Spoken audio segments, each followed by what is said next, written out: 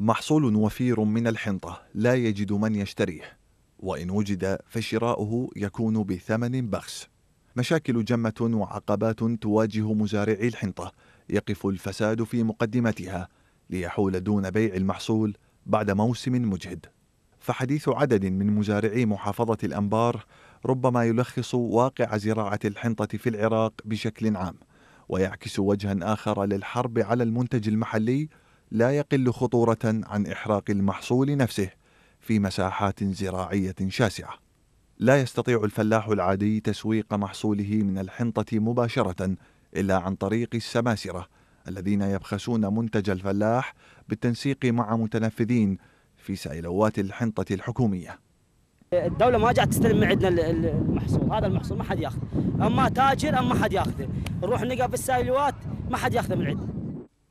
ولأن الرشوة هي كلمة السر في إنجاز أي صفقة مهما كانت بسيطة في العراق الجديد.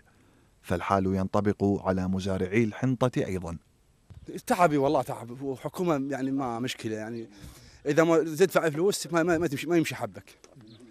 ودرجة ثانية ولا ثالثة يحسبوا لك إياه ويبدو أن مزارعي الحنطة على وعي كاف بأسباب تكدس محصولهم في الموسم الحالي والمواسم السابقة.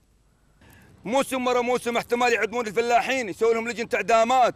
يقول لهم أنتم ما خلتونا نستفاد نجيب الحب من إيران ونجيب حب من خارج العراق. زين ابن العراق ما آخذ اماله وأروح أجيب ابن إيران آخذ الحب ماله؟ والله أسأل الحكومة. هم اللي متفقين ويا الدول الخارجية. يستلمون من عندها على مود يعطلون على الفلاح العراقي يكسرونه بحيث ما يشتغل لا بخضرة لا بحنطة لا بغيرها لا بإذرة لا بأي شيء. الزراعة منتهية بالعراق. تضييق الخناق على تسويق محصول الحنطة المحلي قد يجعل موسم الحصاد الحالي هو الأخير بالنسبة للكثير من الفلاحين. إي اترك المنطقة أترك أترك. زرع السنة ما جاوب شنو فائده ما ما تقدمت كل معاناة أنت.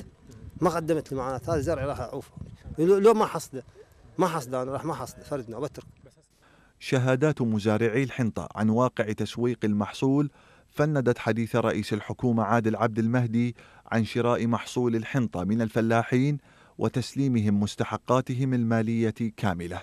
الواقع يقول إن الفلاح العراقي لا يزال يتعرض لسلسلة مؤامرات ليس آخرها عمليات الإحراق المنظمة لمزارع الحنطة والشعير لمستفيد يعرفه العراقيون جيداً.